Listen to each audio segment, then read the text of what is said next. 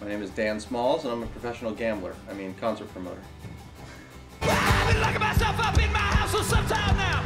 Reading and writing and reading and thinking and searching for reasons and missing the season, the autumn, the spring, the summer, the snow. Record on stop and the record on go. Latches, latch, the windows down, the door coming in and the door going out. Outside of the colleges and the lake and the wineries, I don't think there's a single bigger draw to tourism in this county than this theater. Yes. Yes. Um, not that there's much to do on a show like today, so. Uh, we're just taking some tickets for shows that go on sale tomorrow up to Angry Mom Records, one of our outlets. State is one, they're one. I, they're, they're close, but I use them both because these guys are open much later at night. All the best things happen in the basement. Angry Mom Records. Welcome to Dan Smalls 24 7.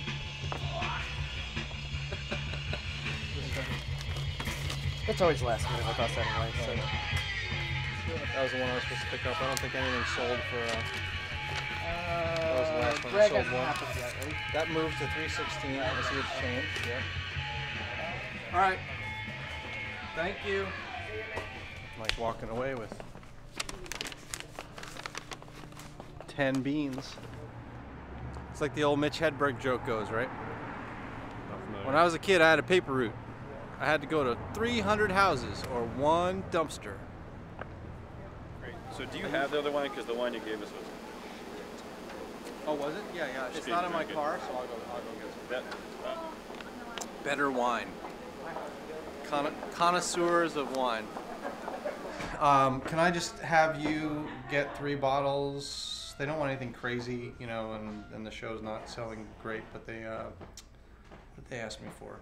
It's two reds and a white. Um, a lot of times, the minute the band goes on, that's when the band's representatives get a chance to do the business. So um, I'll normally wait till the box office closes. I'm in here helping out. I got to settle settle the uh, accounting with the with the theater, and then I have to settle the accounting with the act. So um, normally, 80% of the show, I'm working the hardest at that point.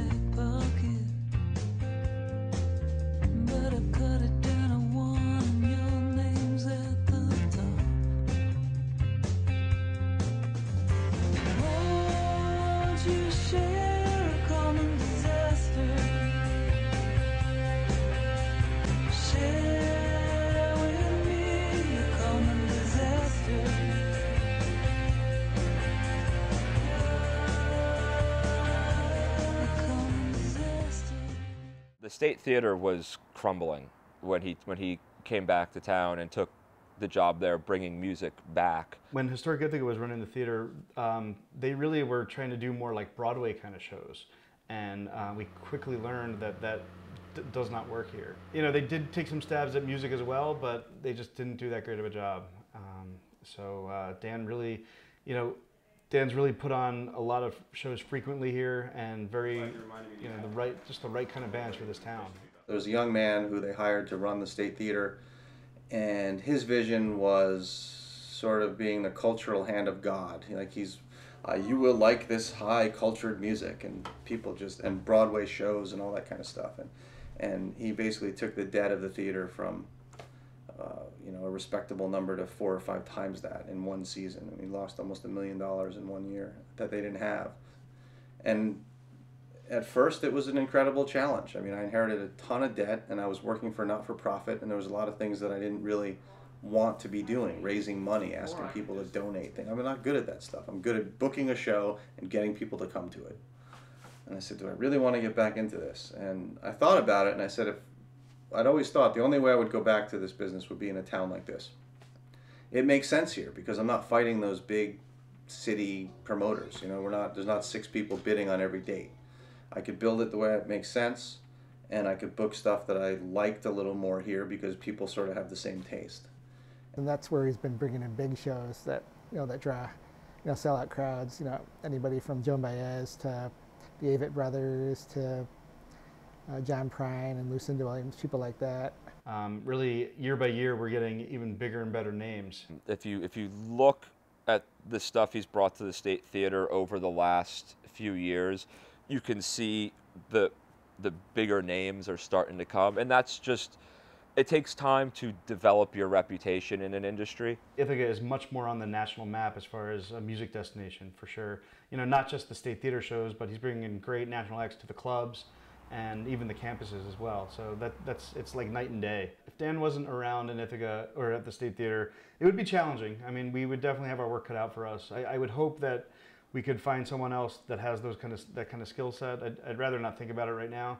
a lot of people tried to work in that building and bring music there. And I'm not saying I'm better than all these other people, but I just had a better connection to what Ithaca wants to see, or maybe the right connections within the music industry. Real estate matters in this business. Sometimes people that normally wouldn't do business with me really want to play Ithaca. They have to, because it's my room, you know, which is okay. I think I deserve that much. Hey. Hey, how you doing? I'm good. Let me call you back from the office number. Yeah. Okay, cool. Are you kidding me? Holy cow! I guess no. So they don't they don't call me. So that means I'm either getting it as it is, or I'm not getting it. I went to 50. Well, if they're gonna do CMAC, then I'm screwed. I mean, it's over. Be, doing CMAC is a huge mistake, I think, but whatever. If they think she's worth it. I've never been through anything. I've never been through anything like this in my life.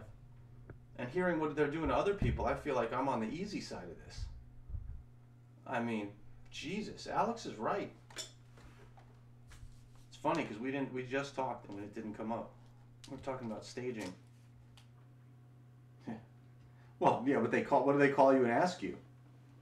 More, more, more, more, more. Oh, and we're not carrying anything anymore. So give us twenty thousand more, and then we're gonna fuck you for ten grand on production too. Break. Wow. Must be nice to have that big a dick. That's why we gotta sell tickets in advance, and then we don't care. You know, you and I can be backstage under the tent going, "Those poor bastards." Did I say that? uh, Willie's supposed to happen June seventeenth, so I got cake on fifteen and Willie on seventeen. And then we're gonna. I sent the Lyle offer at forty-five or forty all in. He's gonna hate that one. Probably haven't heard back from Bronner, but I'm like, I lost money last time, and so did Omega.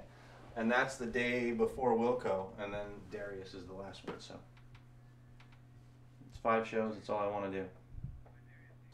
The experience is beyond. I mean, you know, I've been doing shows in fields all over the place, but there's something special about this. I don't really know why. Okay, you got it. Bye now.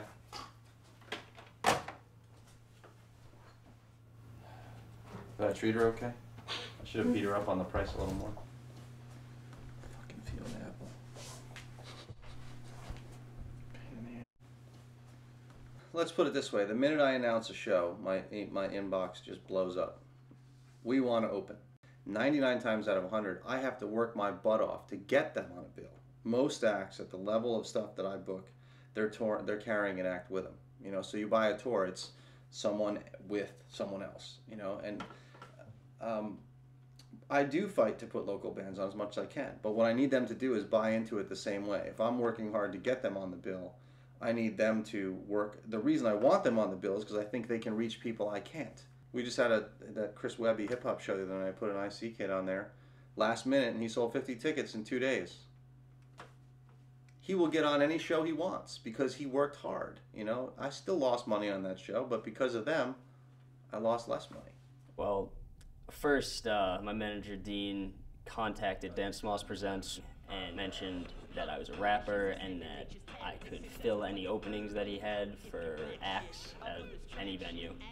And he got back to us almost immediately the next morning, and we met him the day after to pick up tickets to sell at my first show. I think it's great that Dan Smalls has uh, local acts opening wherever he can. He really made it a point to tell me that he supports local bands and local acts and really tries to get them exposure and help them out with any kind of support they need. He gave us the mark of approval that we can really play wherever we can because we can draw the crowd and we can perform. Step into an enemy, ask if they remember me. The second they remember me, I take away their memory. Mix it in with Hennessy, chicken finger tenderly. Tend to be, I tend to be way fresher than you'll No, that's great. As long as I can get it down to Tommy for what we're going to get in the promotional side and what we're paying for. And if you want to get creative, you know, we're down with anything. You know, I'm, I'll help you find a bus or whatever we got to do to get people to come down. You know, it's a it's a great spot. I'm not motivated by money. I think it's it's it's the it's the, the it's a game. It's a it's a fun game. It really is. We're in this business to have, you know, it's a fun business. There's no question about it, but it's also a, a very risky one.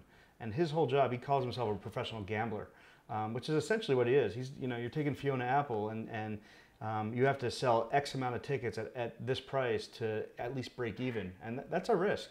Um, and he's, he's a risk taker, and, and you have to do that in that job. Dan actually started his uh, promotion business right as the economy kind of started tanking, and that was really the worst time to do it. And, but instead of like giving up or dry, uh, um, drawing back, he actually kind of doubled down and you know went all out. He's got a really cool job and, and, and uh, an incredibly difficult and thankless job. It's one of those things that's not appreciated unless you're sort of around the behind the scenes stuff. Otherwise, he's just the guy who, who puts his name on the posters for shows all over the place.